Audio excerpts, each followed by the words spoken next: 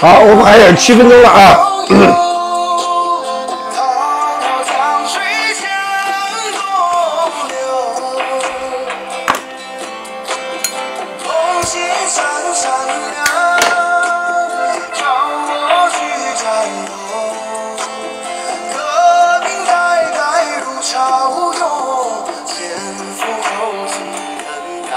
呃，这个刘勇啊，刘勇，你不是离婚了吗？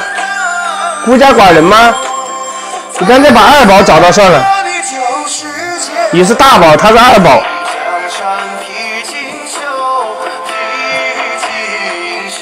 你觉得好不好？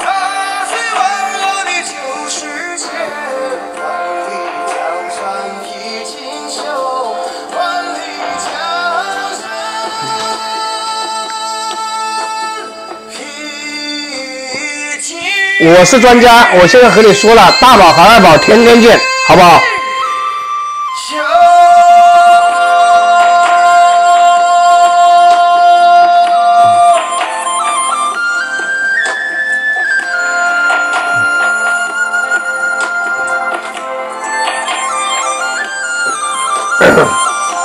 我们这个二宝多了，刘勇是大宝。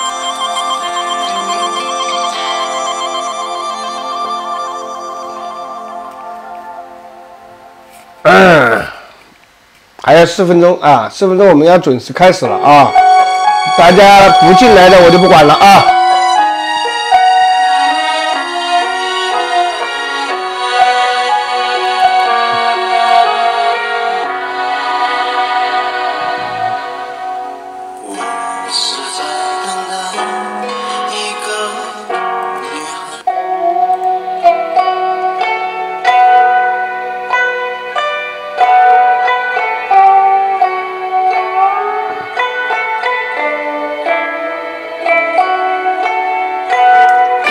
不积极，你说，你说这个在股市当中啊，你既然要学学习，做什么事情呢都要积极啊。我们很多同学，你自认为是高手，其实你根本上就不是。你看，你把那个标准两个字一写，啥都不是。你们觉得呢？我认为啊，你认为，其实标准不这样认为，是不是？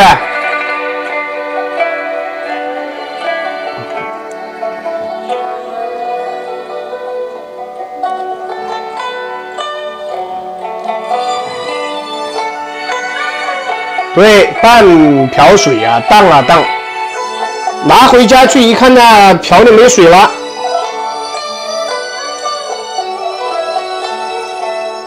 水到哪里去了呢？亏了。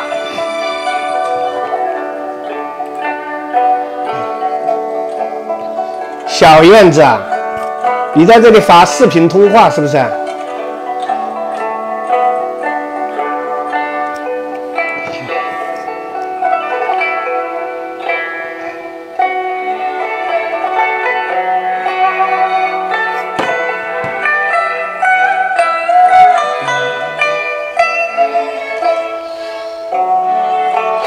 我们准备开始了啊！那么我们的群歌响起，就是我们的课程准备开始了啊！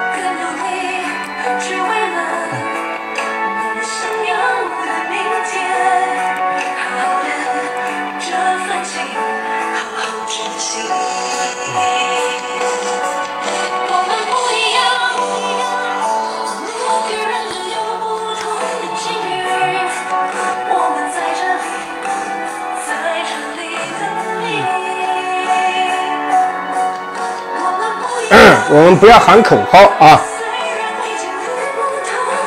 喊口号没有用，不是跟着海哥走，而是跟着标准走，总结出高手。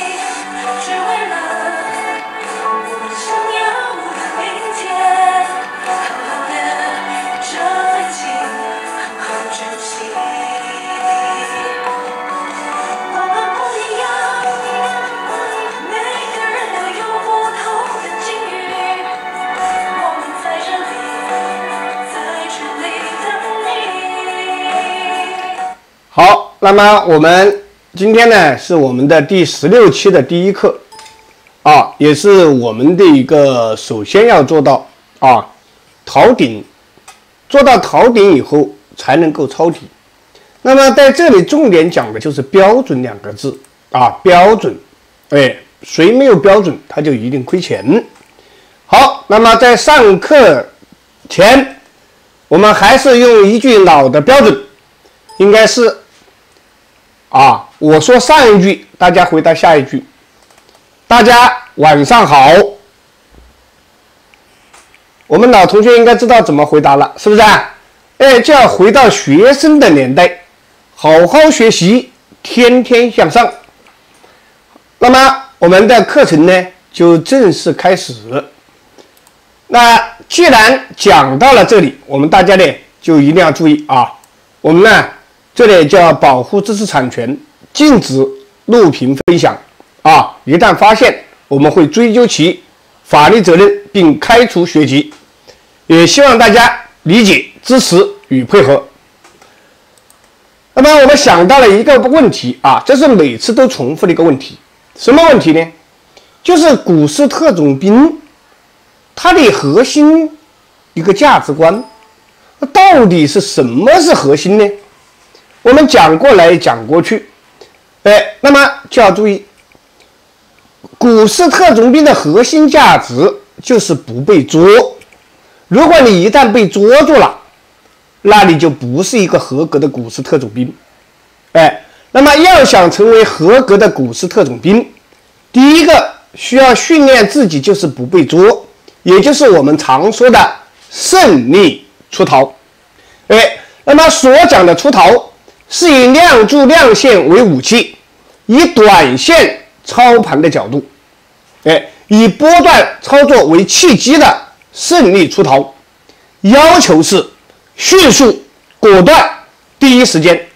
那么我们有的同学啊，他就是优然寡断，他把一个短线操盘的角度啊搞成了长线，是不是？哎，以波段操作为契机，那么我们出来了以后怎么办呢？先出逃。后来以波段为契机，我们来抄底，也就是说，我们以股市特种兵的要求来研判当前的盘势，力求在每个波段的高点或次高点出货，力争在主力伸手捉你的第一瞬间胜利出逃。哎，这才是一个股市特种兵的核心价值啊，核心。哎，当过兵的都知道。那么我们在战场上就是特种兵呢，要求去做一件秘密的事情，你还没有出去，就被别人给捉了。大家说你是不是一个特种兵啊？你想想看，你是不是一个特种兵？你就不是一个特种兵了，你当了俘虏了，是不是？哎，那就搞不好了。你一旦当了俘虏，那对不起，那你就可能啊要受折磨了，是不是？哎，这个呢要大家理解啊。金。好，那么我们来看一看，既然文字上面和千言万语都表达了，重重点的就是标准，也就是要执行这个标准，好吧？哎，好，那么我们来看，什么是标准呢？量柱与九阴真经结合逃顶，比如说这一只股票，大家看，就是到了这个阶段，它，哎，在这个阶段，你们看一看，它是不是个高量柱呀？是不是一根高量？首先，它是一根高量柱，对吧？以量柱为武器，高量石顶破，也就是它的石顶呢不能够站稳。大家说，这一个票要不要出了？哎，要不要出了？你们先看这一段，石顶啊，这是它的实底，这是它的实顶。你们看它的后面是不是没站稳？那就是桥面破必出货，桥面破了你就必须出。那这里呢？你们看是高量破就有灾祸了。是不是九阴真经出来了？那跳空阴拉拐轻，没有还有说跳空阴我还要买股票的，是不是？这就是一个逃顶，第一时间在这里逃，桥面坡必出货。第二，跳空阴拉管清，双阴路往回吐，是不是？你们看，这是九阴真经就结合我们要逃顶，以这个亮柱为武器。明白没有？哎，就是要求第一时间出逃，卖在波段的最高点或次高点。当九阴真经信号出现的时候，为必须出货。你在这里如果不出货，对不起，你就会被捉。这一捉，大家看是不是就当了俘虏了？一当俘虏啊，他就不给你吃，不给你喝，每天晚上还要把你打打半个小时。大家说对不对？哎。这深刻的体会没有？而不要看，而不要去想，这就是标准。哎，桥面破必出货，高量破它就有灾祸，就不要在这里画线了。这就是波段高位，九阴真经出来了。好，那到这里来看一看，这里是涨停板的次阳过来一位可以上。那当到这里的时候，大家注意，是不是水平方向有一个什么？水平方向是不是有个大阴势力？那么大涨之后的是回调超跌反弹，不可恋战啊！结合四维，随时准备卖阳出逃。你看水平方向的大阴势力是不是不过？而价格这是价柱，这是量柱，大家看价柱和量柱是不是阴过阳了呀？大家看一下是不是阴过阳了？对，量柱。吃了阳，过了阳，这个价柱呢，高位看到没有？也是阴过阳，快逃亡。哎，你不逃，第二天跳空阴就必须拉拐清，如果不拉，你又当了俘虏了。哎，把这一刻看懂了没有？哎，你在这里看懂了没有？这个这一天没有走是不对的。首先，四维看盘。水平方向大阴势力上攻不过，哎，OK 了，就应该出。那如果不出，是不是应该在跳空阴拉拐轻不过二一鬼门关？第二个次高点要出了，是不是在这里也应该出了？那我们在这里一出，那这就后面与你不相干。那如果大家结合我的口诀，守阴线先走远，要不要跳空阴拉拐轻？守阴线先走远，要不要跳空阴？拉拐轻，所以守阴线先走远，它比九阴真经要提前一天，啊，要提前一天。但是呢，有些同学会想，哎，走了第二天涨了，追进去了，结果它是跌的，为什么呢？它出阴了，量型就不好了啊，后面会跌的啊，后面会跌。那么什么时候？是这个手阴线不走远呢，那就是在上涨途中，啊，单阴不是阴的时候，啊，单阴不是阴，采用牛虎三绝，那是单阴胜看一阵，这里明显是不是在下降途中？大家看，是不是在明显的下降途中，它就应该走了？懂了没有？这就是以这个量柱为武器啊，这是第一个。第二，四维看盘，哎，好不好懂？好懂吧？哎，这个一定记住，都是标准啊，都是标准。你不要想着在这里还要上，哎，那是错误的，好不好？哎，那是错误的。这里是量柱与九阴真经结合套顶。那么接下来我们看九阴真经的口诀，在这个位置呢，我们把它写上去了。阴过阳，快逃亡，指的是什么呢？是量柱。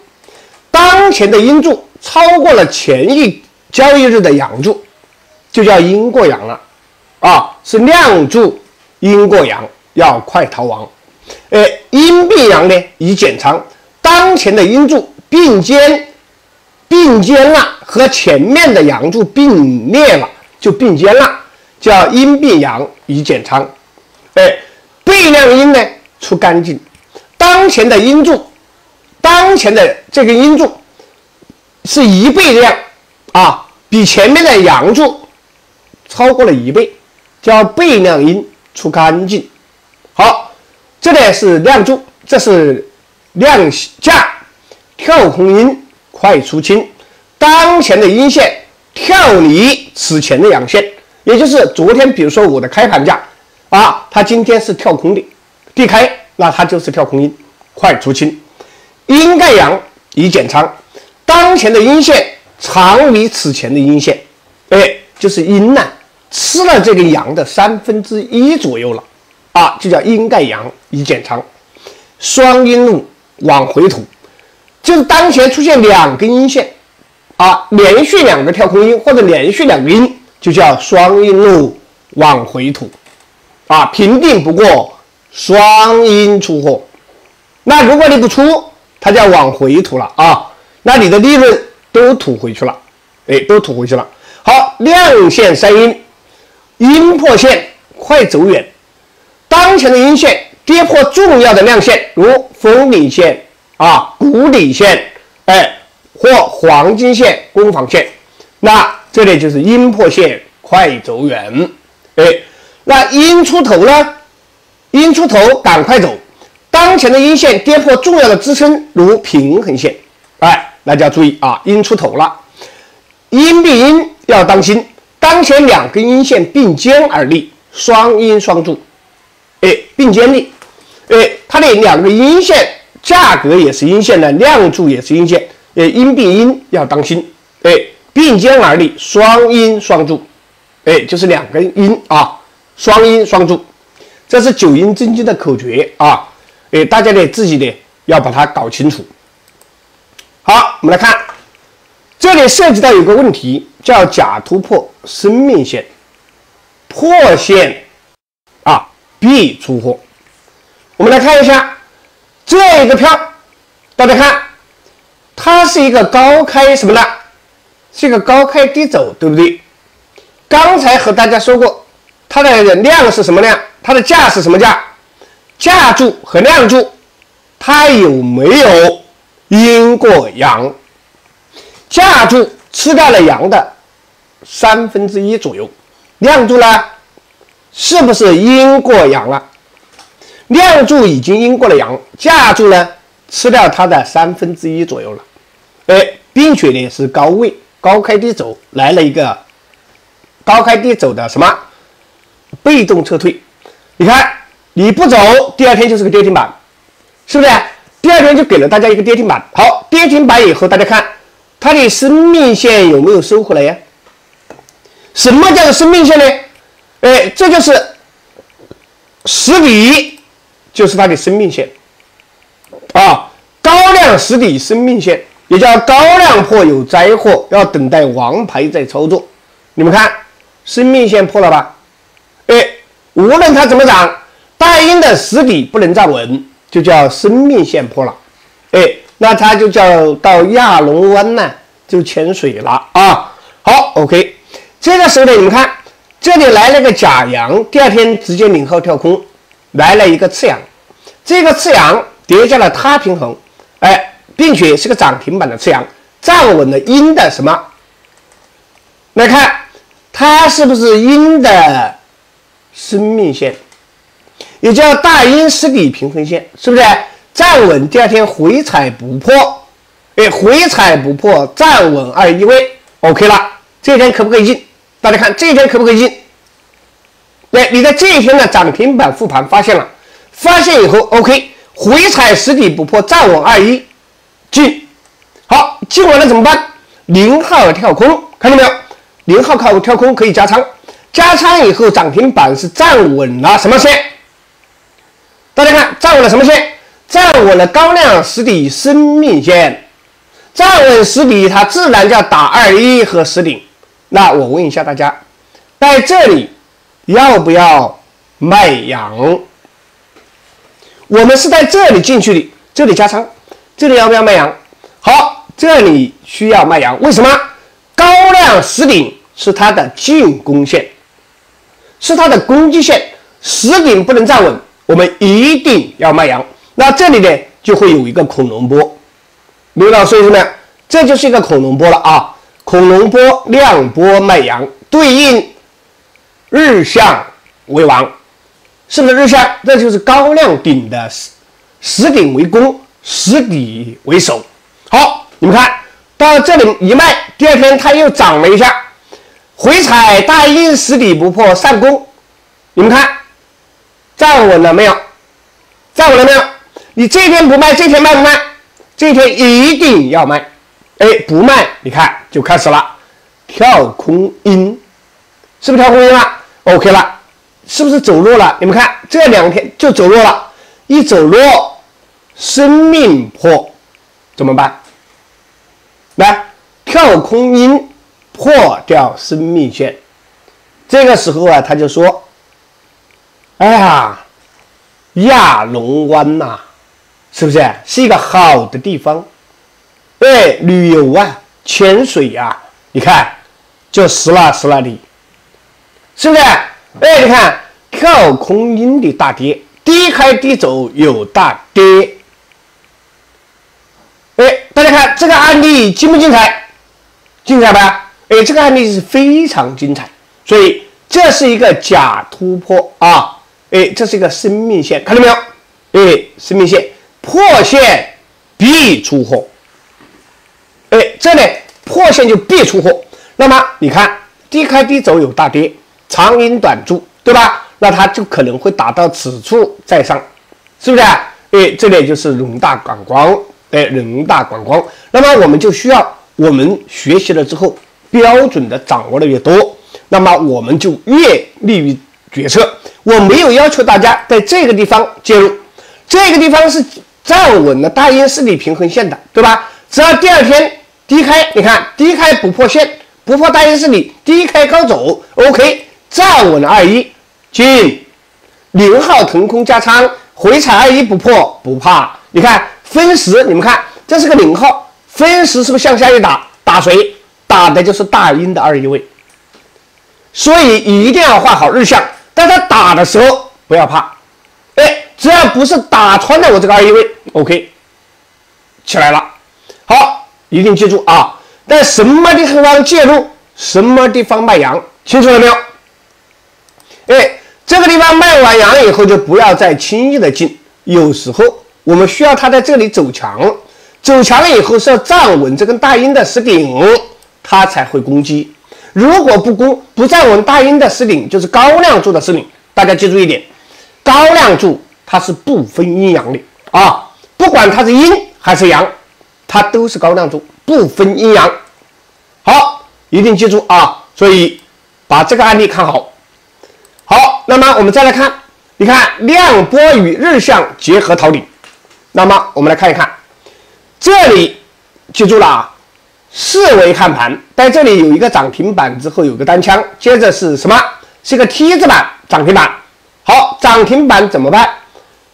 它的左侧大家注意，这个高量阴是不是个高量阴啊？高开低走的，也就是在这里是高开低走，然后都是缩量下跌，然后它在这里波段吸筹，吸筹上不去，再下来打一波，到了这里以后怎么办？哎，这就叫四维看盘。当股价涨到这里的时候，往左侧就是水平方向的大阴势力画线，OK，这个地方要不要卖了？你看，对应日向左峰是高量阴，那高开低走，是不是高开低走的？那三维正反定多空，高开低走，零线压制，四维结合四维量波卖阳，能够明白吧？所以很多同学有些持股的，到了这里。他就是自己在想了，怎么想的呢？哎呦，这是向下的恐龙，我怕什么呢？哎，然后打上去了，说不定它还要涨停板呢。大家说是不是这样想呢？很多亏钱都是这样想出来的。我们一定要记住，它是三维正反定多空。你按照这个标准，它上不去，零线在往下压制，这个时候就一定要卖。哎，你卖不到最高，你可以卖到这里。是不是？你可以卖到我们的零轴，哎，就是昨天的涨停板，这个利润还守住了，是不是守住了？你可以卖在这里嘛？没有想到你还要想着它涨停，那就完蛋了啊！今天我和大家打了个比喻，叫以岭要业，很清楚、很明白要卖，那么我们有些同学不卖，他还要问，还会涨停吗？是不是？那这样就不对了，这就没有了标准，是不是？哎，谁没有标准，他就一定会亏钱。你们看这个股啊，就是量波与日向结合逃顶，是不是？结合逃顶。好，这是它，一定要记住分时倒三维啊。今天我在收评的时候啊，和大家的主要强调了一个倒三维，一个正三维，好不好？正反，哎。三维正反定多空，一定要记住。好，再来看另外一个看庄时庄啊，看庄啊时庄波段头顶。好，我们来看一只股票的时候，大家看前面是不是红肥的？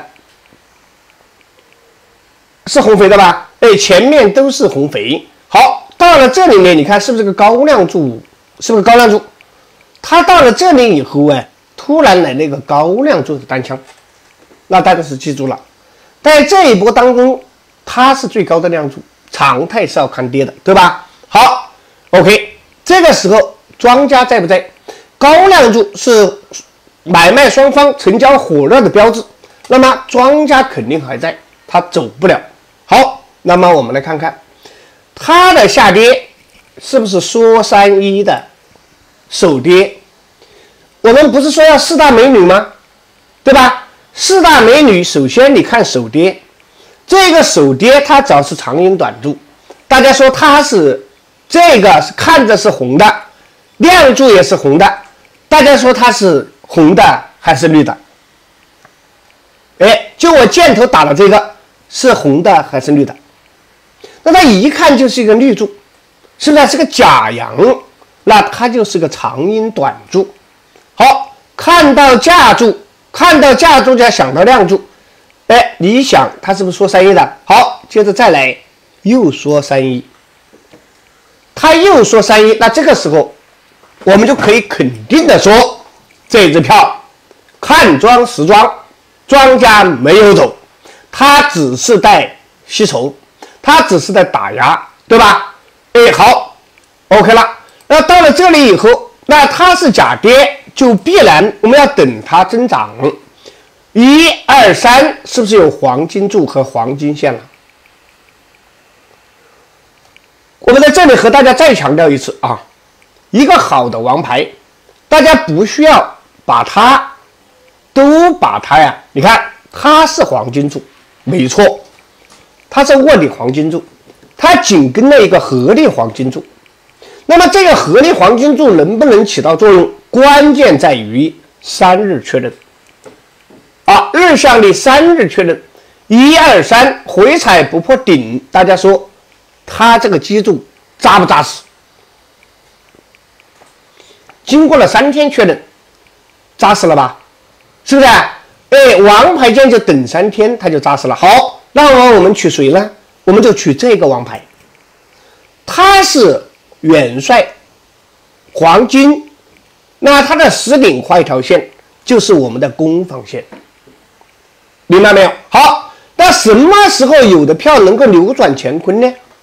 哎，你看这呢，就不是一个质量好的王牌。为什么？我们画王牌的时候，它是一个合力，它只是一个将军柱，明白我说的意思没有？哎，它只是一个将军柱，它是一个合力王牌，黄金线上也阳盖阴了，对吧？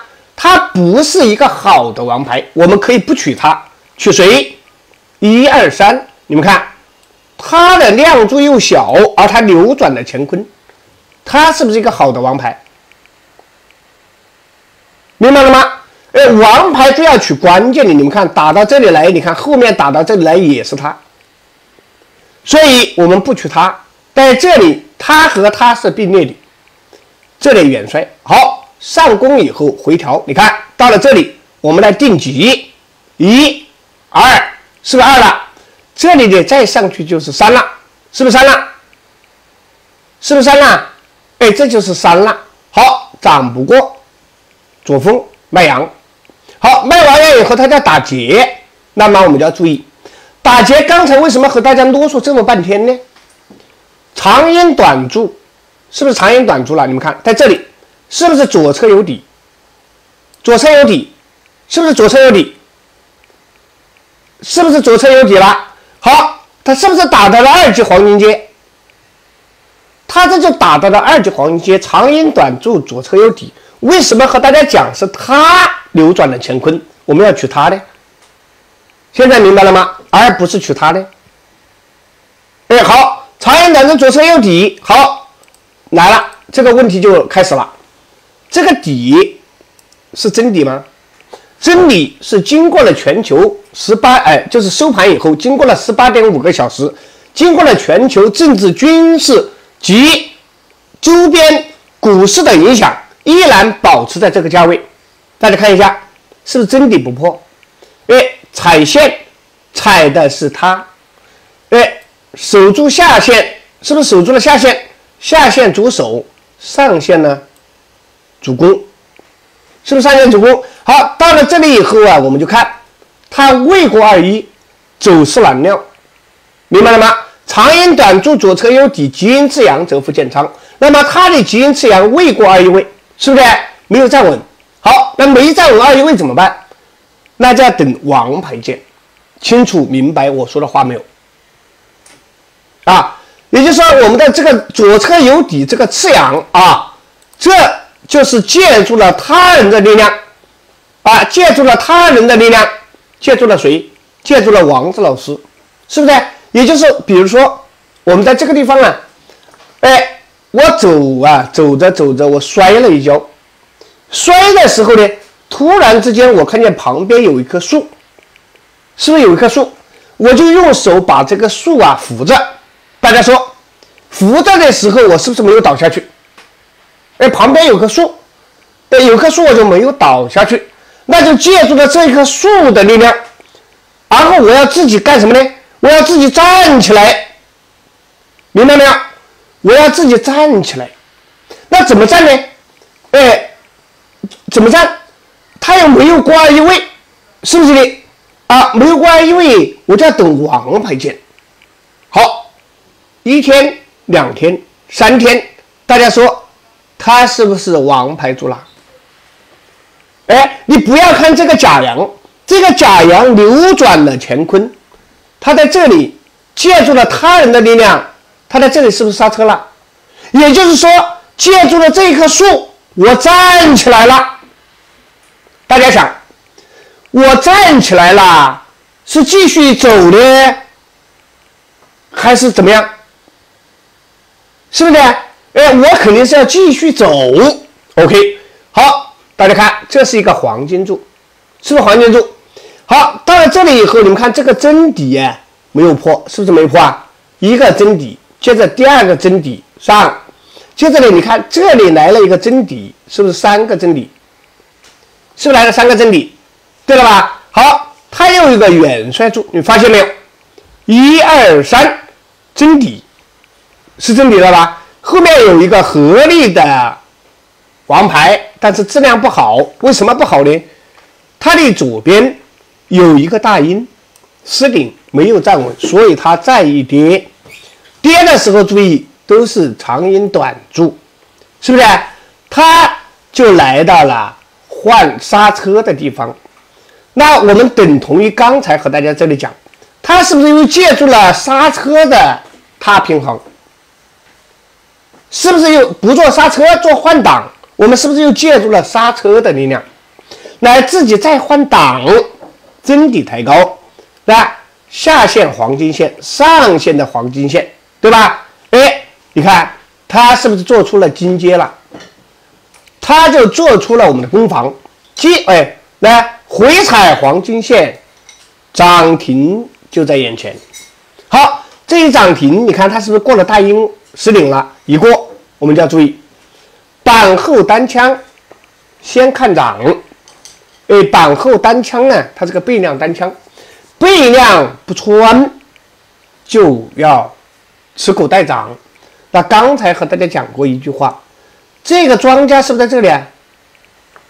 因为它假跌，主力要的不是价格，要的是我们手中的筹码。它到了这里以后，我们就注意。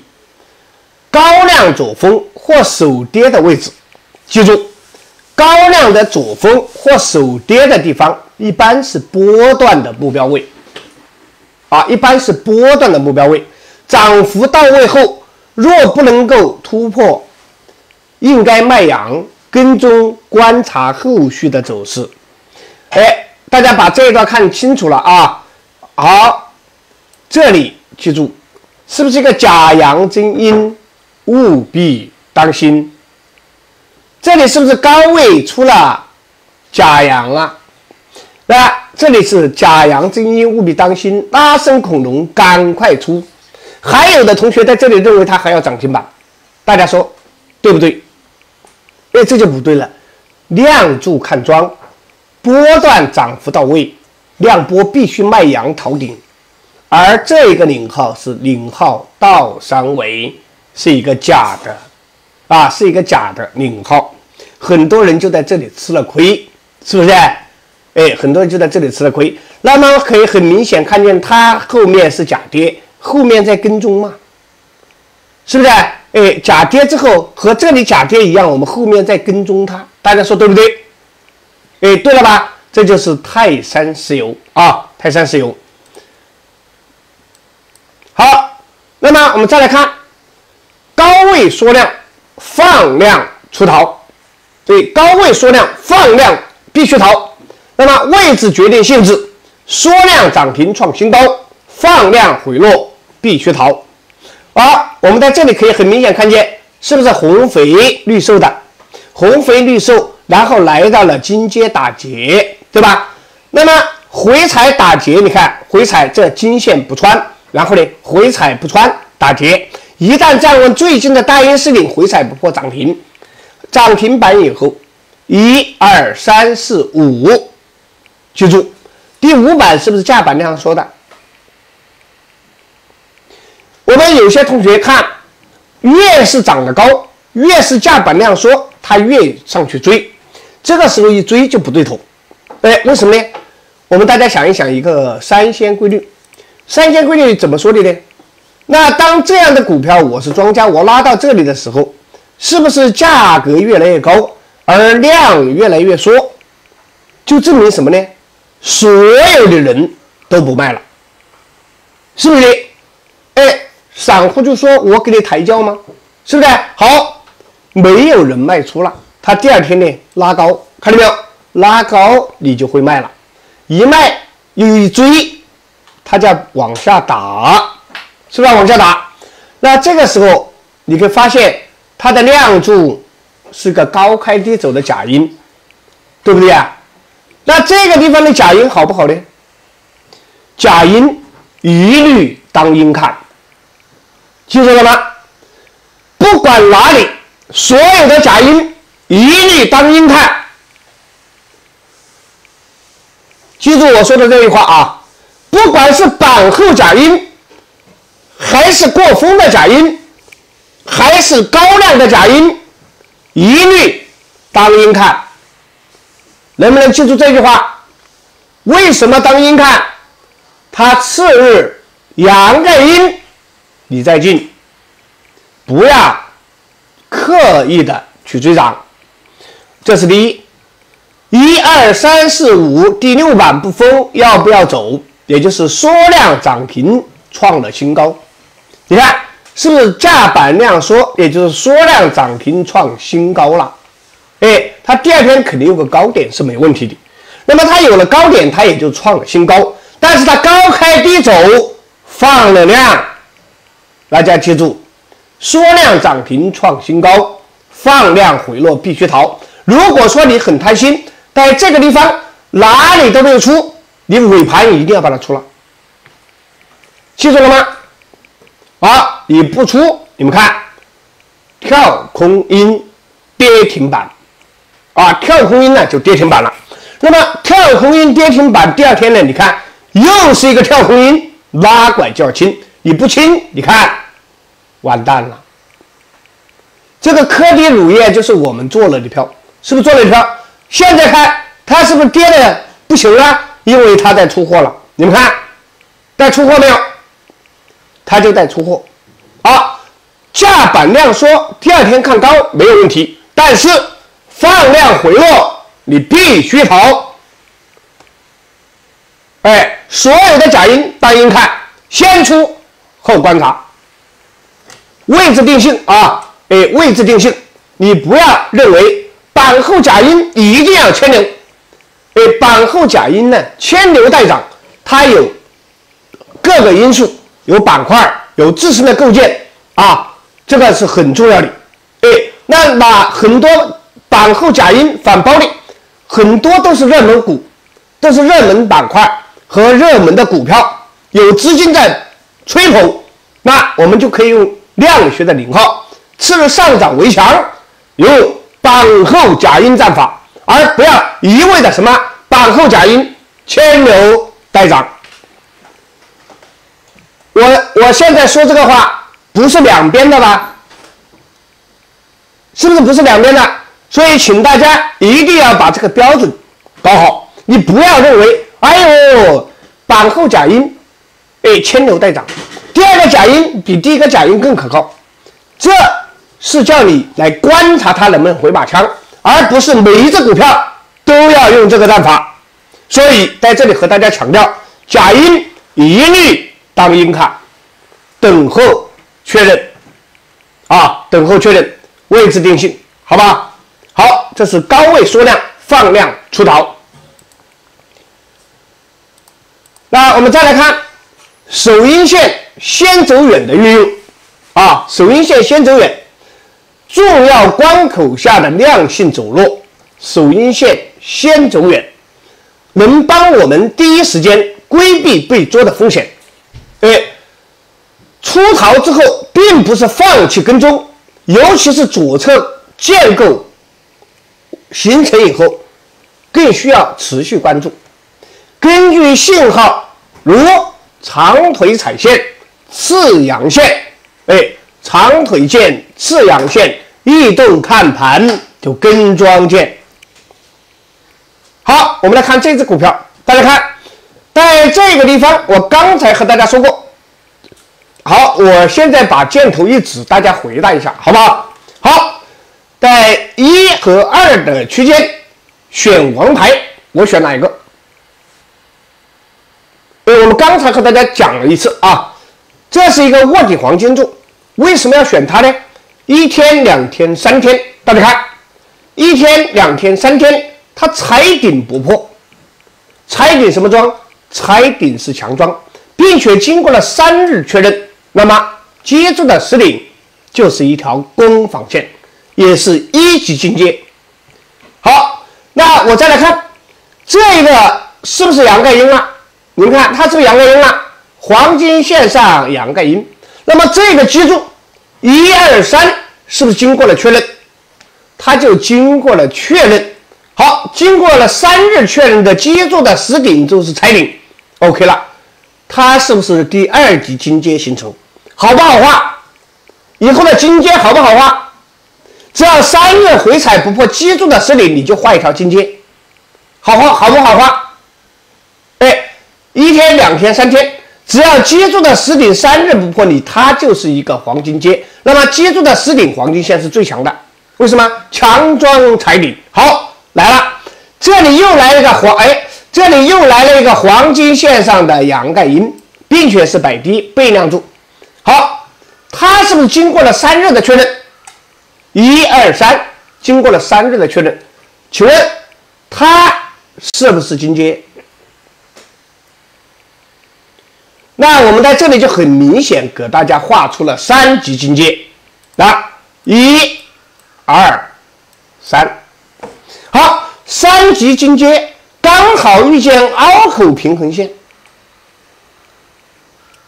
三级金阶打劫，三打一或打二，对吧？最好是打一或二，对不对？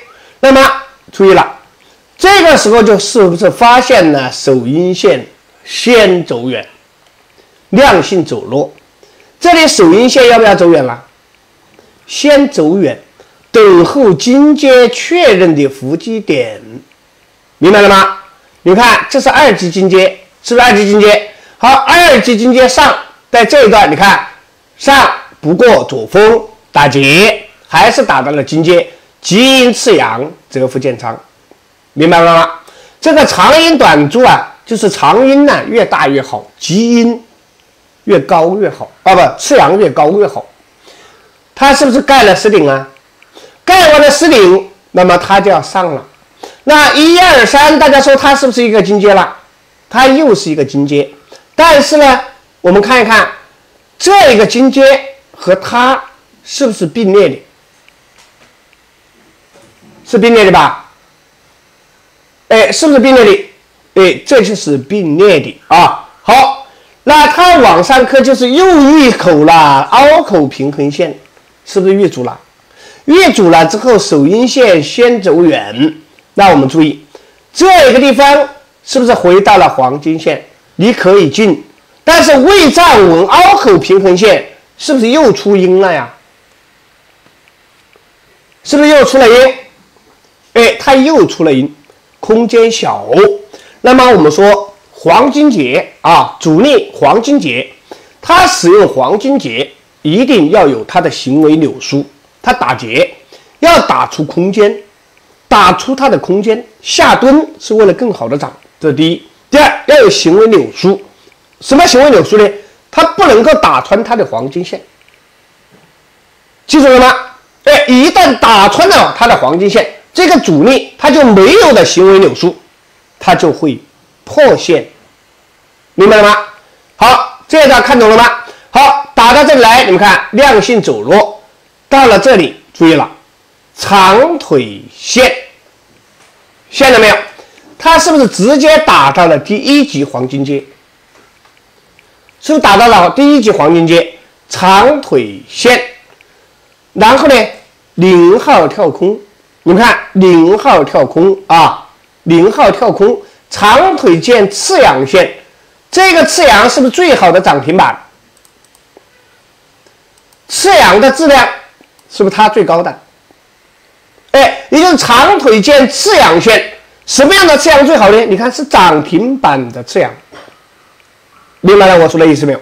好，那我们大家在这里多次都没有站稳凹口平衡线，它一个涨停板就过了凹口平衡线，第二天。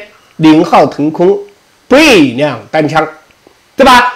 单枪，哎，没有和大家教过，单枪小霸王量能要含蓄，脚下有根基。大家说他有没有根基啊？他有根基了。好，他要充当了一个侦察兵的角色。那么上探，哎，探主是风，缩量就什么？来，探主是风。缩量就攻，对，那探主是风，缩量就攻，回踩凹口平衡线，涨停在眼前。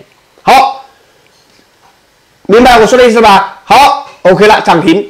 那这个大家注意，它又来了一个什么？高开低走的什么？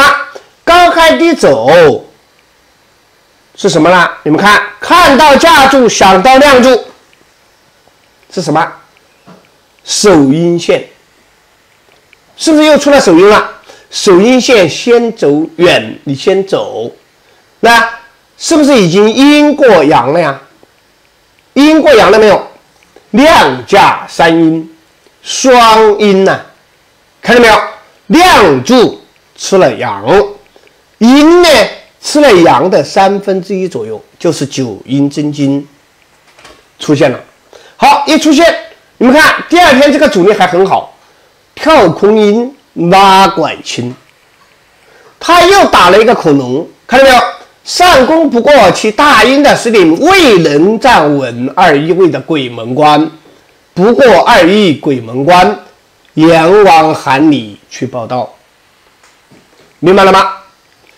如果我们在这里不走，第二天一定要走。但是我建议这一天一定要走，听明白没有？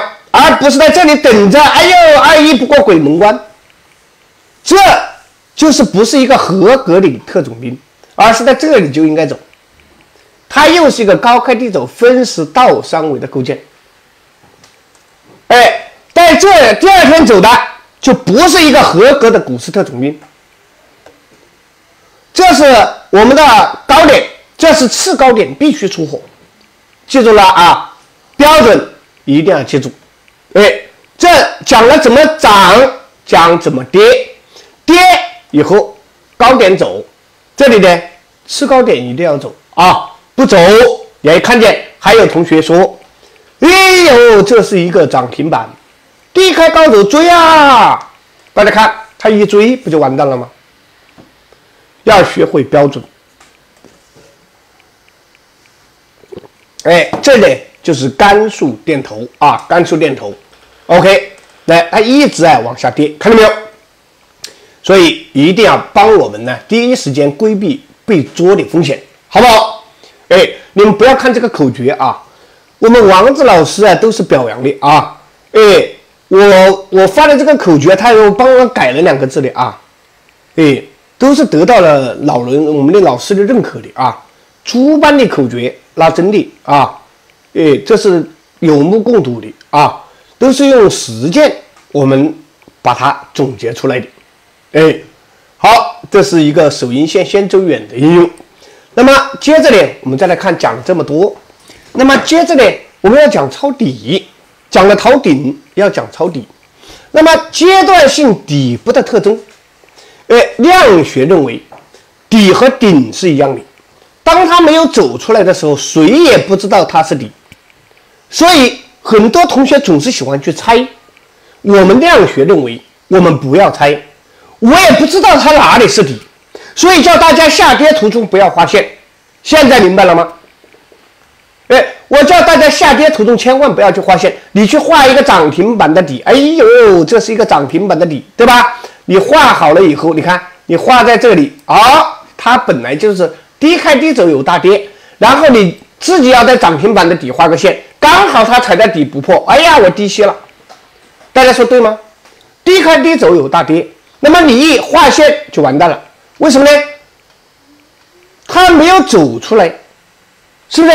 哎，那么我们能不能提前预判它即将到底或已经到底了呢？答案是能。怎么能？量柱请涨停告诉我们，底部形态往往与低量柱有关。哎，往往与低量柱有关。通常情况下，低量柱一旦出现，底就即将到来，或随之不远。这里需要注意的是，低量柱往往不是绝对的低量，而是相对于每一个某个波段阶段或某个波段的最低量柱或百日低量柱。哎，所以大家记不记得？呃，上周啊，我和大家收评说那根低量柱是在已经过确认，它就要跳空了，是不是？你看。它就那一天呢，踩到两两七七三，第二天就跳空了，是不是？因为它形成了摆低，明白吗？形成了摆低，第二天就跳空确认了。哎，好，这里大家要把它记清楚，好不好？好，那么我们再来看抄底三绝，量学的抄底三绝分别于量柱、量价柱和量线三个见底信号组合而成。其量化的标准非常的直观和简明。第一，我们只要看量柱有无低于关键量柱的量柱出现，就是最低量柱和百低阶段性的低量。如果说这个关键的量柱出现，啊，一定要注意啊，关键的量柱就是从最后一个架柱对应的量柱向左看，哎，向左看。那个本阶段或本波段的最低量柱或次低量，就是我们的关键性的量柱。好，它出现以后，我们在第二看架柱，有无站稳关键架柱的架柱出现。所谓关键的架柱，就是以当前下跌的最后一根架柱的实底或虚底为基准。记住，最后一跌。最后一一根架柱的实底，明白吗？一般都是大阴实底平衡线，啊，大阴实底平衡线为基准。凡是回踩距今最近的水平方向的最低架柱或王牌的架柱，就是关键的架柱。好，第三看量线有无站稳关键量关键量线的架柱出现。所谓关键的量线，就是与当前最低价值的实底或虚底对应的，距今水平方向的，啊，本波段王牌柱的实顶实底线就是关键的量线。记住这三点：看量柱、看价柱、看量线。哎，量价合一，立体看盘。好，那么我们来注意了，挖坑末期。斗米袋战术的抄底技巧。那么，所有的股票涨高了之后，必然要下跌。那么，下跌途中和大家说过，这些都不要抄底。大家看，它是不是还没有出现我们关键性的量线？刚才和大家讲过，有无站稳大阴实底？问一句：有无站稳大阴实底？也就是首选下跌第一个大阴的实底，画出水平线，有没有站稳？没有站稳不要进，你不要看见这里有个跳空阳，快跟上，搞不搞得？以后能不能这样搞？哎，你看大阴实底就是刚才说的关键性的量线。能不能搞好？不能搞。你不要现在在你嘴巴跟我说不能搞啊！以后那个谁在这里搞的你，哎，那就小心挨打。好，好，再来看它回踩是不是已经破了这个关键的王牌柱？是不是？这个关键的王牌柱是不是破了？它有无站稳呢？有没有站稳？没有站稳。它上也没站稳，它是下也没站稳，所以它叫跌了，是不是？哎，好，它跌。你看跌下来以后，我们注意了，这里也就是下跌最凶狠的啊，这是它，是不是它呀？它一直未过，你们看站稳了没有？没有站稳，他就有了一个刹车的王牌。不做刹车，做什么？做换挡。刹车失败，他就开到沟里去了。那个刹车失灵了噻。他刹车一失灵啊，嘣，完了，掉到了万丈深渊。是不是掉到了万丈深渊呢？是不是？然后大家再看这个万丈深渊呢，它在开始干什么？它在开始底部增量阴，增量了。这个增量阴的出现，就代表着它在抖米袋，明白吗？这里抖啊，抖完了之后，你看，哎，抖米袋，记住啊，哎，那么大跌之后再挖坑，底部增量阴的出现，一般是最后一抖的特征，哎。那根据次阳战术跟庄，关注其后的确认以及临盘的异动。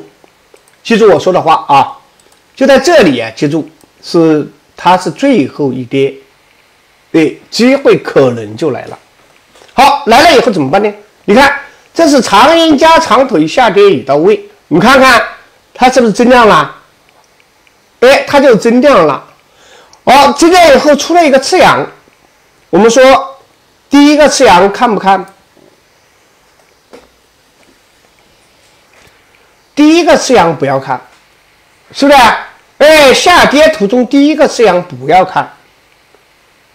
好，OK，投资人们回答的很好。好，那么你们看，它再下来有没有破掉它的虚底啊？有没有破掉它的虚底？哎，这个次阳不要看啊，没破。好，缩量假跌，缩量以后不破它的虚底。也就是说，这个探底回升一般是一只个股阶段性的底部，它只要不破它的低点，也就是它的极点侧向。第二个涨停板是领号，你们看到啊，是不是领号？那它是一个领号，领号这个次阳是不是质量好？是不是质量好？那这个次阳的质量就要比它好了。哎，好，大阴四顶站稳了吗？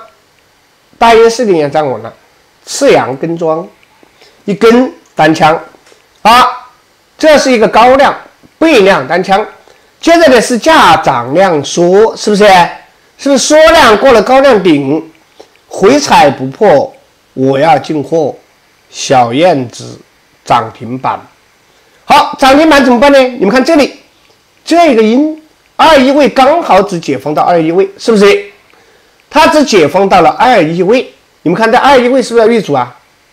守阴线先走远，不过二一鬼门关。你看这一个单枪刚好只打到了二一，打到二一，不过这里就是涨停板也没用，就跌了。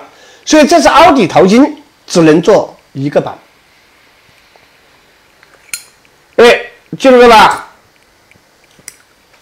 凹底淘金只能做一个板，那么到这里我们就记住啊，讲的就是斗米袋的战术，大跌之后再大跌，妈妈抖完，姥姥抖，姥姥抖了一下还要抖，再抖实在是没有米了，所以他就搬了。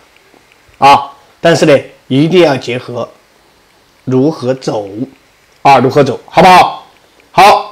这里一个次阳啊，很清楚，就是这个涨停板的次阳，哎，还是有质量。我们可以啊，利用价涨量缩择机做多。哎，你看是缩量过高量，然后呢，缩量过了，我还会回来确认一次。大家明白没有？一确认，所以它才板，它才涨啊，而不是过。而要确认不破，所以我们真假突破一定要把它搞好。好，你们看，再看这一段也是和大家前期啊讲的。你们看这个票啊是零二零是跌停板，然后往上啊往上攻，这里是不是和大家讲过关键性的价重和关键性的量线？这个票为什么不涨了呢？是不是下跌最凶狠的这一根大阴的实底或虚底画出一条线，还涨不涨？来，以下跌最凶狠的这根画一条线，还涨不涨？涨不了了，涨不了怎么办呢？跌。好，你看它的是缩一倍的假跌，手阴线。先走远，好，走完了以后怎么办呢？开始了，开始干什么了？T 两音，喇叭口，左喇叭，哎，你们看是不是左喇叭？哎，就是 T 两音出现了，这是一个长腿增量阴，它本来就到位了。你看第二天一缩一倍，机会差不多了。哎，你看第二天缩了一倍。大家看，我们看一下是不是近期的低量柱？低量柱不是绝对的，是不是？它是阶段性的低量。好，这里上了，我们说第一个次阳做不做？那第一个次阳不做，好，它一样的，再挖坑一次，大跌之后再大跌，它又形成了梯量阴，喇叭口，他还要抖米袋。你们说这个庄家呀，他的姥姥啊，的确很坏。这个林家慧的姥姥啊，太坏了，是不是？哎，他在这里，你看已经抖了，抖完了没有米了，是没米了，没米之后他还要抖一抖。哎，为什么要抖呢？他们说他家里很穷，哎，拿不出啊，这个养了七个女儿，没有啊粮食喂奶了。那怎么办呢？就把家里那个米袋拿出来抖，哎，一抖抖了这么多，就养了几天，发现呢没米了，怎么办呢？这几个小孩在家里哭呀，他又把那个米袋拿出来抖一抖，他没钱买米，哎，再抖一下，哎，还有这么多米，明白了吧？这才是抖米袋的故事。好，一抖，你们看。零号跳空就涨停了，是不是零号跳空涨停了？涨停以后，接着呢，干什么？凶龙打压，不破靠山。啊，凶龙打压不破靠山，你看，哎，说一倍假跌，哎，假跌以后啊，他就来了一个回马枪，哎，这就是个回马枪。好，回马枪之后啊，怎么办？高量一个单枪。刚才和大家讲过，高量实顶不能站稳，怎么办？你不用看这里了，它的量柱最高，量柱不分阴阳，高量柱。那这里呢就应该呀，就近找柱，就高画线。哎，就近对比原则。这里呢，你看它就是一个假突破。桥面破就必出货，一出还要不要跳空阴拉拐清了？就不需要跳空阴拉拐清了。哎，那这里它就 OK 了。记住这一点好不好？高量柱的实顶不能站稳，一定会跌，也就是桥面破必出货。哎，能够懂得这一点就 OK 了啊！哎，你更别后面看它的。还给它在高量底画一条线，哎，高量底不破就生命线守住了，它会再次上攻，站稳桥面就向上攻。如果站不稳桥面，它就攻击不了，好不好？好，这是我们的几个啊。再来看一下，没有王牌看跳空，哎，叫真假高大王被封，没有王牌看跳空，那么。庄性好的强势股没有王牌，我们看跳空。哎，板块强劲，我们看跳空。大家看这里是不是斗米在？连阴来，是不是连阴来？打到最后呢？你看是长阴加长腿，你看长腿探底回升，接着呢长阴短柱假跌。那么次阳，你看这是一个假阳，是不是低量柱了？哎，是不是低量柱了？低量柱的到来，它守住了最后一跌，叫真底，是不是把真底守住了？那这个真底守住了，也就是下跌最凶狠的大阴势力守住了，是不是？然后呢，没有王牌看跳空，你们看，它是个领号缩量柱，再接这个零号，是不是跳空于阴柱的二一位？是不是跳空于阴柱的二一位？那这里就应该记住了。没有王牌看跳空啊，低量柱到来，零号跳空在二一位，这个时候就是零号涨停。没有王牌看跳空，好，第二个板，哎，第二个板，你们看这个板是不是很好啊？量能很健康，但是呢，我们刚才又和大家讲过了，关键性的量线，它有无站稳呢？这是它的实体，对吧？是不是？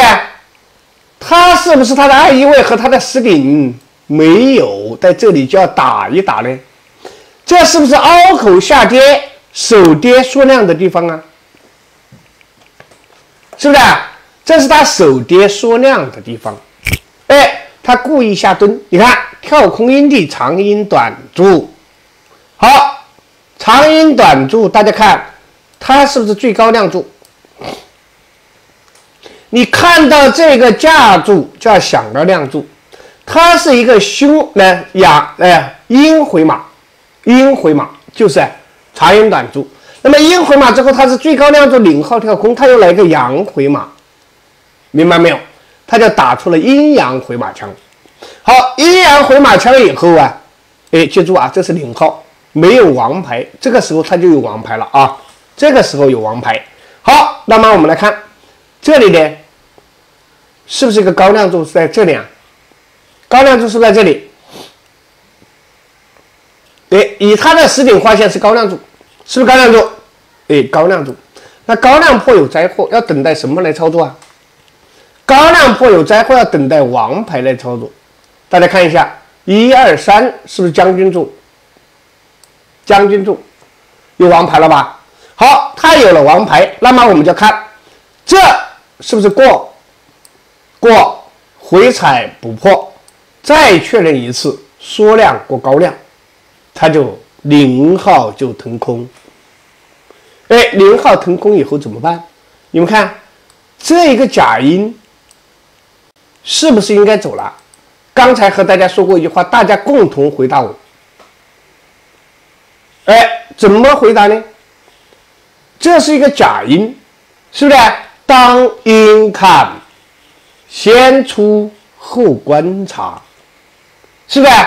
哎，你先出啊，后观察啊，这就是福安，是不是？福安药业，哎，福安药业。那么第二天呢，数量多少？你们看，是不是缩量三一？是不是？你一走，它第二天一跌，缩量三一，OK。哎，你看这里阳个阴，你可以进去搞一搞，是不是？搞完了它没站稳，没过左峰。那我们和大家说过，那高量柱一句话。实体较小，则要取虚，记住吗？哎，高量柱实体较小，你要取虚。这里不过左峰，是不是不行？哎，你就不要它的实体画线了啊！哎，高量柱啊，它的实体较小，你要取虚的啊！哎，你要取虚，它不过是虚顶，那还是要跌的啊！能明白吧？哎，能不能明白了？哎，记住啊，这个要记住。我们讲的一定是，比如说这个领号啊，我们说极阴次阳则复建仓，一定是二一位啊，领号跳空。哎，所以说这个领号跳空啊，一定要构建，一定看庄性，然后呢还要看它的位置定性，而不是说出一个领号我就上。你看在这里出个领号我也上了，是不是？哎，这个要记住啊。好，没有王牌看跳空。那么凹底康桥的战术，哎，康桥啊，康桥战术很简单，哎，就是找到距今最近的这个音，哎，sorry，等一下，好，就是要找到这个音。我们看，我们找了一下，刚才也说了，和大家说了，这是一个喇叭口的天亮音。那么它的实顶是这个高亮柱，哎，你们看高亮柱对应的架柱的实顶，你画一条线，实顶为攻，这里也就叫长江一桥，叫凹底康桥。什么时候能够站稳它呢？就什么时候涨，明白了没有？哎，大阴，好，你们看这里是不是站稳了？站稳以后回踩不破。是不是回踩不破？回踩不破以后，大家又看这一点，这它又是成了一个高量单枪，它是不是康桥了？哎，它就是康桥了。这个时候康桥，这是一个假突破。那么下来以后，它是缩量假跌，回踩不破金线，它是高量补破。哎，你看。高量不破，特指架住的实体不被有效跌破。那么这里就是一条金线啊。好，那这里阳盖阴零号跳空站稳了康桥，明白了吗？哎，这叫康亮过桥，一桥、二桥，哎，两个康桥，大家说。我们说要找到三个王牌、三个真底、三根高亮柱，我们现在是不是找到了一个、两个、三根高亮柱？是不是看到了三根高亮柱？哎，我们在第一课啊，那是送的，大家知道三个王牌是吧？三个王，哎，三个真底，三个真底，对吧？哎，真底，然后呢，高三个高，哎，三个高啊，好，你们看，一个高，两个高，三个高，它就要涨了，对吧？哎，是不是要涨了？哎，那它呢就要涨了啊！哎，所以注意，这里是第一个叫长江一桥、长江二桥、长江三桥。哎，我们武汉什么就不多，就是桥多，是不是？哎，一定记住，能不能记得住啊？以最近的高亮柱的实顶画线，就近找柱，就高画线。好，能够懂吗？好，这是第一。哎，好，那一定是啊，凹底康桥战术，找到阶段性的高亮柱，在站稳高亮实顶处跟桩伏击。哎。要记住三个王牌，三个真底，三根高亮柱，哎，这就叫三号战法。好，那么长腿探底的跟装要领，长腿探底回升，一般是阶段性的底部特征，但需要阳盛阴的确认。激进者可在回踩黄金线时控仓买阴，哎，稳健者等待抬头上攻的时机。对，稳健的等待抬头上攻的时机。好，那么这里呢是，这里简单来说，是不是刹车失败了？你看破了底，是不是破了底？然后采取了杀跌。那么杀跌以后就是一个什么长腿探底回升，一般是一只个股阶段性的底部，但但 需要阳胜阴的确认。这就叫极点测向，哎，突破极点就 OK 了啊。好，那这大家看它是不是在这个地方？注意啊，大阴的实底，这是大阴的实底，叫关键性的亮线，有无关键性的亮柱出现？大家看有没有？哎，有没有？哎，有没有关键性的亮柱出现？好，什么亮柱？高亮柱，是不是高亮柱？哎，这是高亮柱出现了啊！哎，一定要记住这个啊。那接着下来呢，就要注意了，这是第一个小背阳，第一个小背阳为什么？第一个小背阳为试探。啊，第一个小背阳为试探，那么等它回踩缩量，你看一二三是缩量假跌，哎，缩量假跌以后，它呢来了一个什么？长腿踩线，有没有破掉这根关键性的亮柱和我们这个背亮柱的实体有没有？哎，好，没有。这是缩量假跌。我们说单枪小霸王，量能要含蓄，脚下有根基，一个跳空，两个跳空，对吧？好，那么来了以后是缩量就什么？缩量它就攻。那这个时候就出现了零号长腿踩线，只是前奏，抬头即将上攻。哎，就这点啊。所以在这里呢。长腿探底回升，一般是个股阶段性的底部，但是要需要后面的阳性阴，比如说它也是，你看阳性阴了。好，这里下来长腿踩线，零号，哎，踩线只是前奏，抬头即将上攻。好，那么接着再下来，你们看高量要干什么了？高量干什么了？这个时候是高量柱，是什么？左侧有跳空补空的大阴的实体，应不应该卖阳了？哎，量柱乘一二三的梯量柱，是不是？哎，一二三的梯量柱。那么接着呢，就要注意了，首阴线应该怎么办？首阴线先走远啊，首阴线呢先走远，然后，哎，再等待我们金阶确认伏击点。好，那么这个时候呢是低开一拉恐龙走不走？哎，一拉恐龙就要走。这个时候四维看盘看到是左侧，也应该走。第二天跳空阴拉拐青量波叫卖阳。啊，明白吧？哎，对，左侧有压力就叫四维看盘，哎，四维，好吧？好，这是一定的，你要记住啊，这是低开跳空阴拉拐，低开低走，主力主动撤退，可能有大跌。一般低开低走不要抄底，哎，最好不要抄底。它在盘中啊，可能往上打一打，哎，但是呢，最后崩，它就会大跌。哎，记住啊，低开低走，不要去抄底，想的应该是第一时间没有走的出头，这个标准能不能记得住了？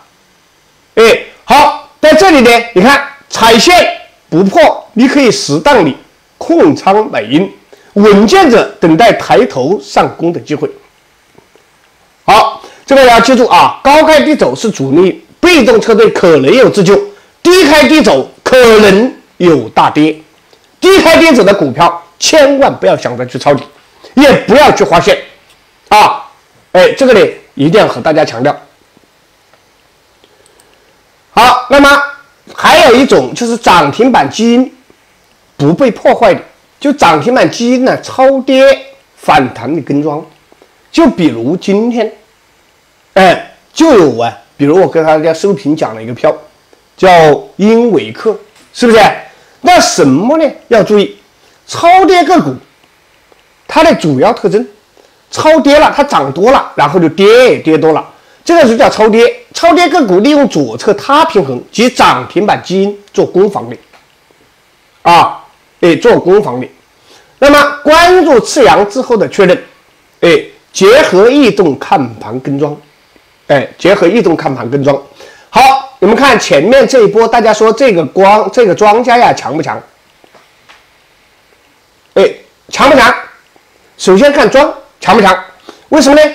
它是红堆量，红堆这个量堆啊，就说明了一个什么问题？说明它子里也有资金，它的钱，这个量柱从哪里来的呢？就是真金白银买卖双方堆积起来的，大家同不同意？为什么我们说量学看量柱和量价呢？哎，量柱其实就是什么？就是金钱，都是人民币真金白银堆起来的量柱，没有钱怎么可能涨？是不是？好，那么我们就看见庄了。第一，注意首跌说多少？首跌长阴短柱，但是这个量呢，说的不是很好。第二天的长阴短柱说三一好，这个就是假跌了。这个假跌以来呀，你看它来了一个什么？它平衡是不是？它平衡之后没有王牌，看什么？看跳空，一个板、两个板、三个板。好，刚才有和大家讲过了一个问题，这里是我们的什么？是不是左峰啊？你看高亮柱左峰对吧？哎，高亮柱左峰，你看是左峰吧？好，OK，到了这里是不是高亮柱了？它也是高亮柱了，并且是梯亮柱，谋攻与谋逃的温度计。那它的这里没站稳，第二天守阴线应该干什么？守阴线先走远，金阶确认伏击点，先走。如果是我在这一天，我就要走。为什么？一个板、两个板、第三个板都不封，我走不走？我们刚才和大家说过，四板封我就要走，在这里三个板都不封了，我走不走？大家记住，你结合思维，只要第二天不板的票放量，你就先走，能不能明白？我在这里讲的，不管是哪一只股票，只要是板后第二天不板的票，你先走。哎，走完了怎么办？你至少要空仓十万块钱，你卖掉七万，还有三成仓，还有三万块钱在里面。第二天一看，哎呦，低开低走有大跌，标准也来了。低开低走有大跌，我连三万块钱都不要，三万块钱都卖掉。大家说能不能做到？以后，哎，能不能做得到？哎，你先走不涨不封板，先走七万，先走七成仓，哎。接着低开低走，哎呦，低开低走有大跌，我去你的，是不是？一拉我就出三万块钱，我也出掉。出掉以后，那就来到了这里，来到了哪里？就是要看庄了。这是不是真金白银啊？这也是真金白银，这又是真金白银。大家说这个庄家想不想上？想不想上？这个庄家就想上。好。那么到这里呢？你看，他又来了一次进攻，还是没有站稳高亮柱，是不是？没有站稳高亮柱，他还是要进攻，所以他就开始跌了，是不是？哎，那我上不去怎么办呢？我就只有跌。这个时候，注意，那我们就看它跌到哪里来？你看它是不是？简单来说，这个庄家就跌到了它的起涨点，也就是跌到了它的成本价。是不是跌到了它的起涨点？也就是这个涨停板造就了这一波的上涨，是不是？跌到了这个涨停板的基因。好，OK 来了，来了之后，你们看它都下来都是缩量假跌。好，来了，这里有一个小长腿探底回升了，是不是？好，接着一个阳盖阴，我们说第一个次阳看不看？第一个次阳我就不看了，是不是？第一个次阳我就不看好，接着往下打。打下来以后，你们注意了，哎，它又回到了什么涨停板的基因，低量柱出现了。首先是低量柱出现了，低量柱出现代表着底部不远了，大家说对吧？是不是啊？对，代表着底部不远了。第二天阳盖阴的确认或背量柱的确认，就证明什么？证明。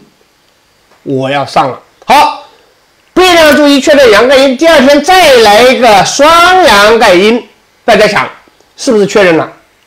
那或者是第二天再来一个零号，就相当于把这个次阳更加的确认了，是不是？好，OK 了，一确认零号跳空，大家看，它不光是跳空在这个大阴，这个大阴为什么不跳空啊？因为被这个阳给吃了，明白没有？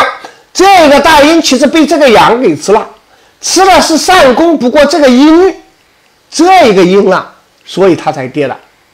好，零号跳空在二一位，所以它就来了个涨停板，对吧？这个涨停板经过我复盘以后，我就发出来了，是不是？我就发出来了，发出这只股票叫江南高纤，这一天我发出的，为什么呢？我在前面就分析了它的涨停板基因，并且这有低量柱，零号大幅跳空，并且是价板量缩的，我就发了这只股票的案例。好，发完以后，第二天是冲高回落，收了一个假阴，是不是收了个假阴？而它站稳了大阴的实顶。哎，第二天领号，对不起，你不上，我上，是不是？第二天这个领号你上我就上，大家看高南哎，这个江南高纤打了几个板？它的后面好像打了七个板，是不是？哦，那我的案例是在这一天发的啊？为什么发？我现在和大家讲的很清楚了，是不是？哎，就是利用了左侧涨停板基因，哎，接着呢，然后来了个次阳。这个涨停板是大幅跳空的，没有王牌就看跳空，因为有庄家看庄实庄，哎，这就是装，这里就是装，然后打下来之后更好打乒乓球，哎，怎么打乒乓球呢？下蹲是为了更好的起跳，哎，是为了更好的起跳，好不好？哎，好，这里一定要记住了啊！板后假音牵牛带掌是第二天的确认，记住了没有？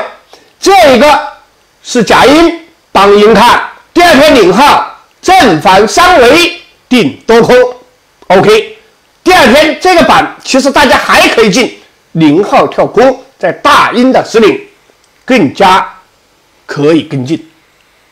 哎，所以一定要注意板后假音呢，经过确认的票，好不好？好，这是涨停板基因超跌反弹。那么左侧有底的超跌要领，哎，抄底要领。那么我们看左侧波段吸筹回调打压有度，次阳确认底部，阳是阴跟庄确认。好，你看刚才和大家讲过，在这一阶段，这个王牌是不是重要的？就是我箭头啊指的这个王牌是不是最重要的？为什么？它经过了后面一二三天的确认，死顶都不破，所以这是一条我们需要你黄金复合精准线啊，是一条啊黄金复合精准线。好，那我们再来看，它又形成了低量柱，是不是低量柱？接着呢，背量柱确认，OK 往上涨。刚才和大家讲过，在我们下跌最凶狠的这根大阴的实体画出一条线。大家看它后面站稳了吗？哎，这个大阴的实体画出一条线，那它虽然上攻了其实顶，它有没有站稳呢？它在横盘量性走弱，那量性一走弱，它就要打结了。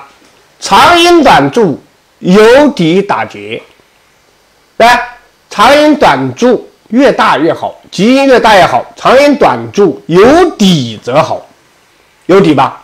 它就打到了左侧有底，我们刚才和大家说过，这一二三是不是删了？哎，元帅噻，你看他又经过了三天的确认噻，是不是？是不是经过了三天？低量柱，OK，长阴短柱左侧有底，长音越大越好，基音越高越好，记住了吗？哎，长音啊，我们需要这样的长音，有底的，然后基音呢？赶过二一，赶过四零，对不起，上，哎，你看过了二一，零号跳空盖了十零，是不是？一个跳空，两个跳空，大家想，无王牌看跳空，一个跳空就算了，还来一个跳空，接着再来一个跳空，你想，他想干什么呢？炒股好比斗地主，没有王牌一定输。他不光是有王牌，他还有炸弹，是不是？一出手，哎，哎，我的地主，你看我一出手，是个三，大家都会斗地主，我出四个三，你们要不要啊？除非是想给我送钱的，是个四，好，你是个四，你看我是个五，还炸不炸？不炸了吧？哎，那看我又出牌了，是个六。大家说我当地主啊，就走十七张牌，是不是十七张牌啊？那我一出手就一下出了十二张，你们说还给我打不打？啊，不知道啊。哎，好，还打不打？好，问大家一句话，这个时候就是你们看他零号跳空开在哪里？这个零号跳空开在哪里？这个零号跳空明显的开在了大阴的实顶，我们要不要上啊？想都不要想，是不是？哎，想都不要想上。你看，一上一个板、两个板、三个板、四个板、五个板、六个板，好，六个板之后啊，在这里要不要出啦？要不要出啦？高量，一二三四五六六板。高量要出了，好，你不出，你看看低开低走，跳空阴拉拐轻，不过二一的，你看高量柱的实顶为攻，实底为守，它连实底都破了，怎么办呢？低开低走，主动撤退，可能有大跌，它又来那个跌停板，是不是？那这支票好像今天是不是涨停了？是不是涨停了？为什么涨停呢？就是因为它前面有，是不是庄性呢？这个票前面有没有庄性啊？有没有庄性？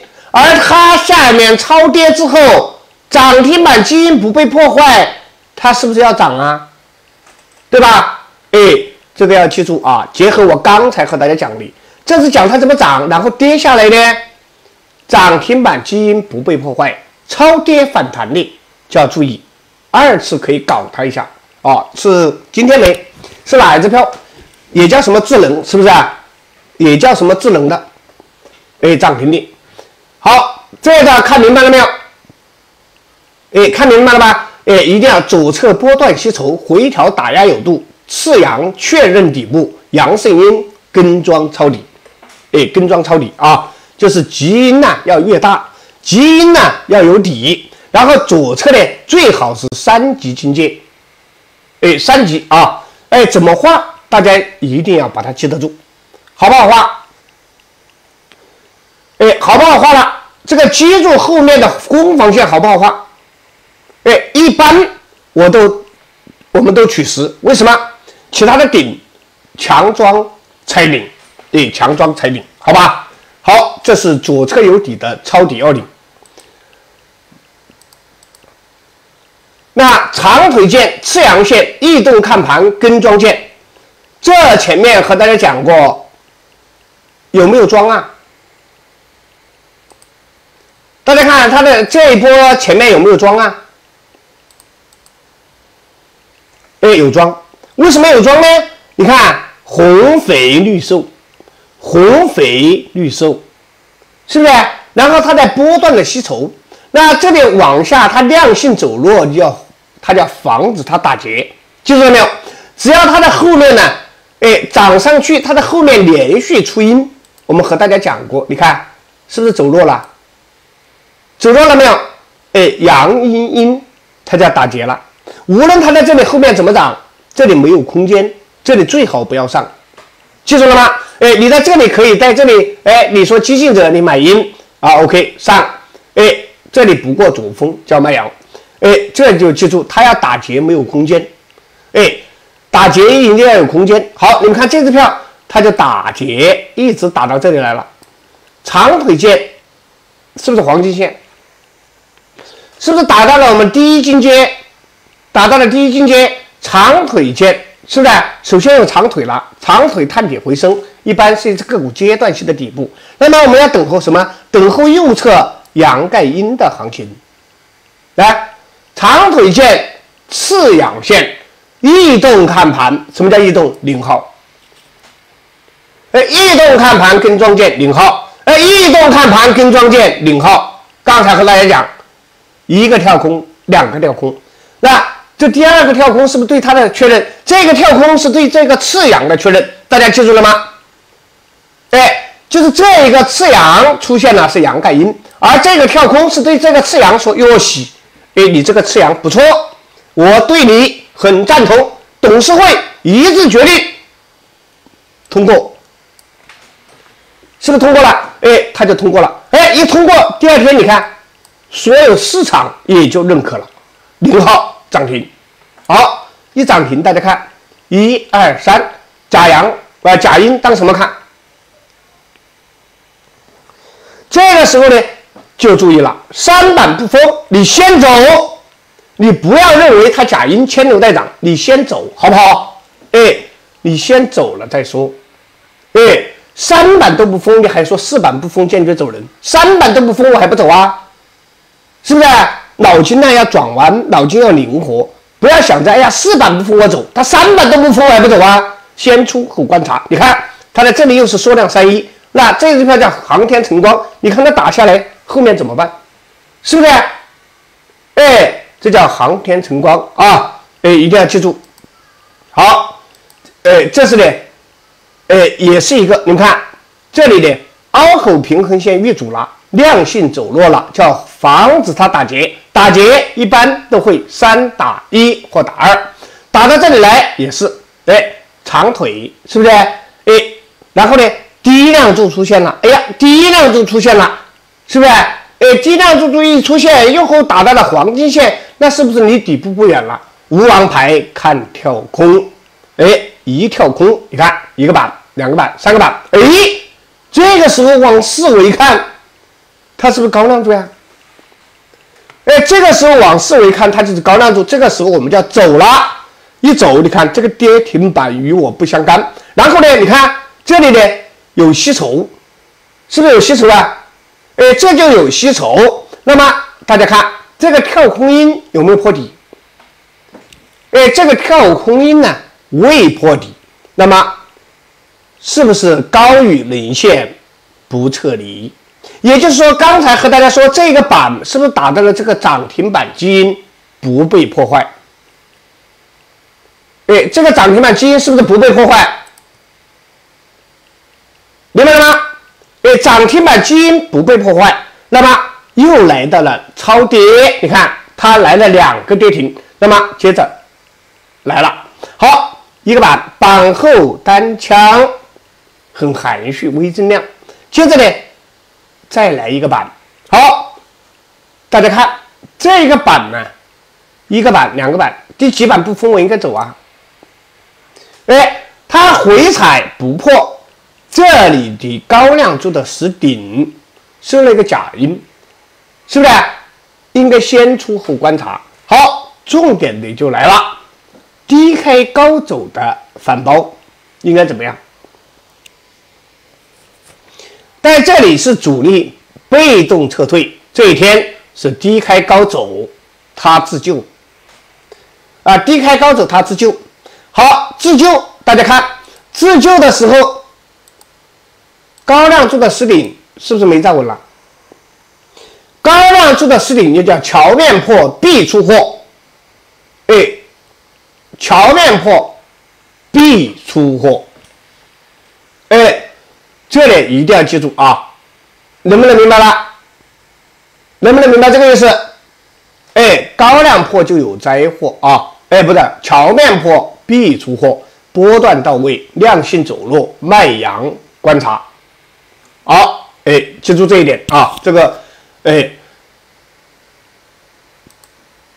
好，那么凹底禽流的要点，哎，凹底禽流的要点，第一。符合牛股量型，左侧最好有百日低量群。第二，左侧四维无强压或已消化到位。第三点，当下的建构扎实，根基牢靠。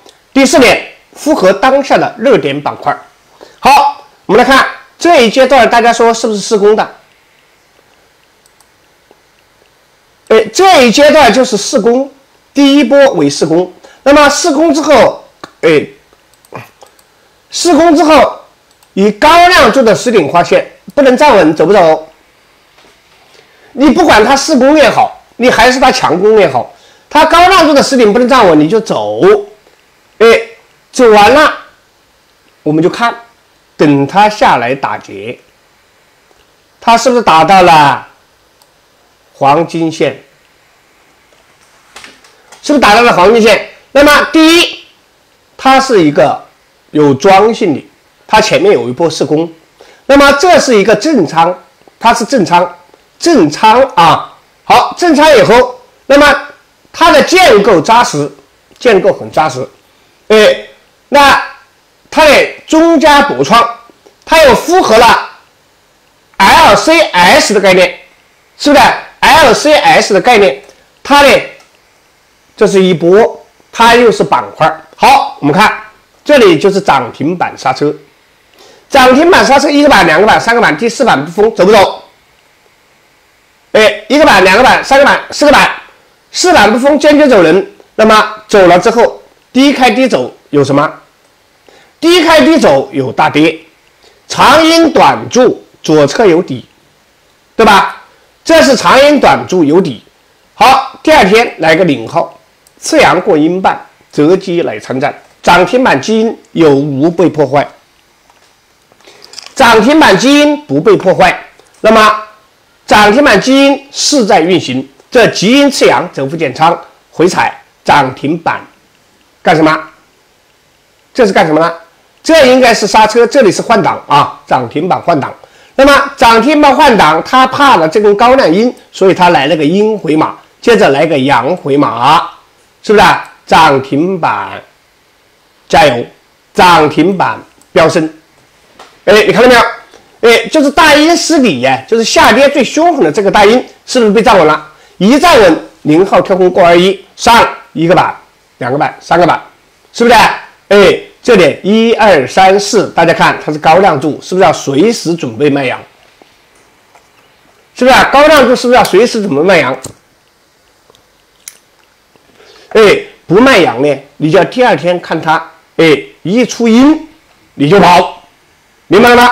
第二天一出阴你就跑，哎，就记住，哎，一定要记住啊，符合牛股量刑。哎，你看这是个牛股吧？左侧有构件吧？这是个牛股吧？哎，所以左侧有白日低量群，它要是牛股量型，左侧四维无强压，会消化到位。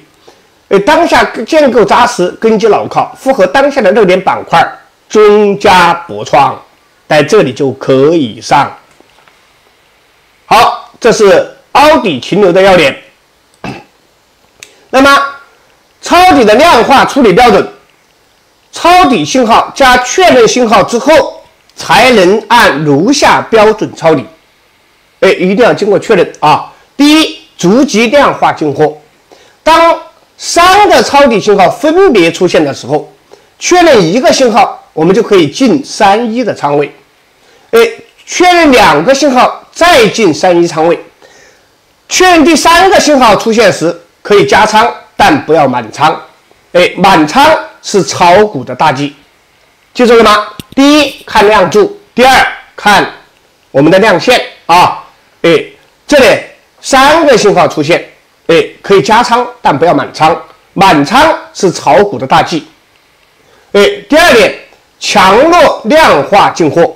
当信号含蓄时可以不进，哎，含蓄一点的时候我们不进。哎，当信号强烈时一定要进。哎，第三。叠加量化进货，当几个抄底信号叠加的时候，进货量可相应叠加。抄底三绝信号与极阴次阳信号叠加，注意了，抄底三绝量柱量线到位了，那么与极阴次阳信号又叠加了，这个位置我们至少应该进货二亿仓位。哎，若是训练到位，这里还可以加大仓位。哎，这里一定要记住了啊。抄底三绝三个前面有三个要素，与极阴次阳信号叠加，哎，就要注意了。低量柱出现长阴短柱，极阴次阳过二一盖十顶，这个时时候我们可以加大仓位。这是呢抄底的量化处理标准。好，那么今天晚上的课程我们就讲到这里。